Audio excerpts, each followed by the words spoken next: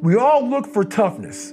We all want it, but we look for it in a comfortable environment. You will not find toughness in a comfortable environment. I was trying to look for it everywhere. The only way you find it is to drown yourself in a position where you're just out of sorts, where you can't swim and you're drowning. You're drowning in life. But you say, you know what, man? Fuck that. I'm gonna figure out how to fucking backstroke or fucking something. I'm gonna figure out how to, and then through, through figuring out, when you say fuck you, uh-uh, this sucks, I'm drowning, I'm miserable, I'm suffering, I'm broken, but I'm not going anywhere. What happens to your mind is it does this.